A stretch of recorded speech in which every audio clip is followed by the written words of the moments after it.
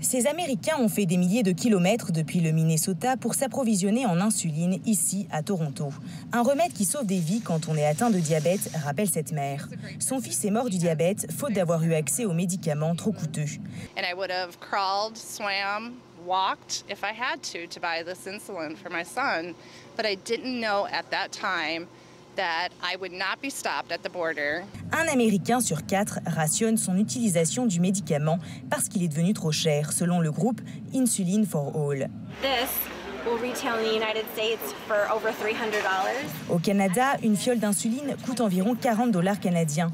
Le même médicament coûte près de 10 fois plus aux États-Unis et n'est disponible que sur ordonnance, contrairement au Canada.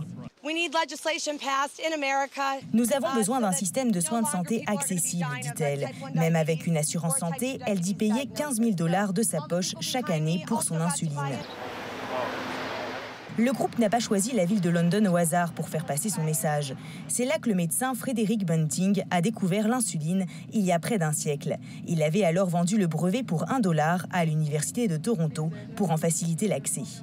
De son côté, l'Association des pharmaciens du Canada demande à Santé Canada de garder un œil sur la situation pour éviter tout dérèglement.